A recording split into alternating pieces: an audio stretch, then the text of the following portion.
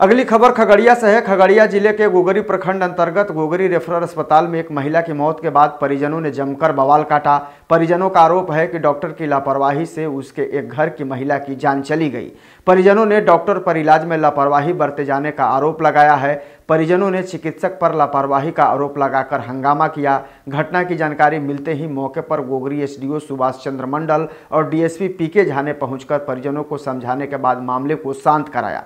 मृतक महिला गोगरी के वार्ड नंबर सात के बेचन ठाकुर की 35 वर्षीय पत्नी बेला देवी बताई जाती है। आर एस का तक नहीं था प्रो यहाँ पर आर एस का भी एक भी दवा नहीं था तो हम बाहर से मंगाए एक भी दवा यूज़ नहीं किया गया है सब जितना भी था। मम्मी को लेके आए सर तो इलाज नहीं किया सर जो है डॉक्टर जो थी यहाँ पे उसको बोले कि सर इस मैसेज से ऐसे ऐसे की बात है मम्मी का जो बीपी लो हो रहा है और उल्टी हो गया है। वो चेक की लोगों को बोला चेक करने के लिए वो चेक की। उसके बाद बोली इसको जो है ना आर का घोल चलेगा और क्या बोला चलेगा और कोई एक दवाई का नाम बोली जो कि पाउडर बोला है लाने के लिए।